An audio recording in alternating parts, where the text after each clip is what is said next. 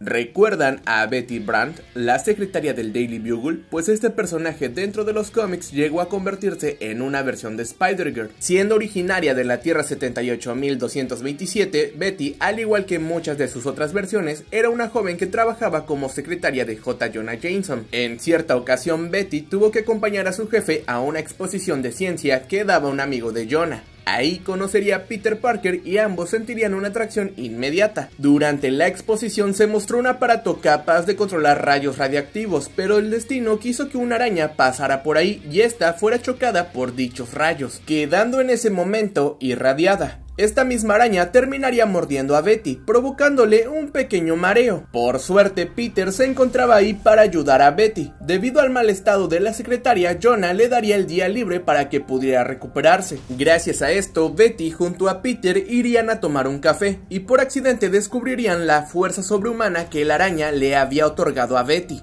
Ambos fueron a un lugar más reservado y allí descubrieron la plena extensión de los poderes de la joven. Y viendo el potencial de la chica, Peter le ayudó a desarrollar sus poderes al mismo tiempo que diseñaba unas redes artificiales que le ayudarían en su trabajo. Betty, por su parte, diseñó un disfraz y se dedicó a combatir el crimen como Spider-Girl. Mientras ella hacía esto, Peter se ganaba un dinero extra fotografiando a Betty y vendiendo sus fotos. Cierto día, tras una sesión de fotos, Peter y Spider-Girl fueron testigos de un robo y como el ladrón huía perseguido por un guardia de seguridad, Betty se dispuso a detener al sujeto, pero esta había gastado toda su telaraña. Debido a eso, el ladrón terminaría escapando. Más tarde por la noche, cuando ambos personajes regresaron a la casa de Peter, la policía estaba esperándolos, ya que un ladrón había intentado robar la casa de sus tíos. Lamentablemente durante este el tío Ben moriría a manos de aquel sujeto. Cuando Betty supo que el asesino se escondía en un almacén abandonado, tomó su disfraz y fue en busca del criminal, solo para descubrir que se trataba del mismo ladrón que había dejado escapar. Abrumada por la culpa y no estando dispuesta a arriesgarse a que nadie más muriera por su culpa, Betty decidió abandonar su identidad como Spider-Girl, dándonos la lección de que si bien a todos les puede quedar la máscara, no todos lograrían soportar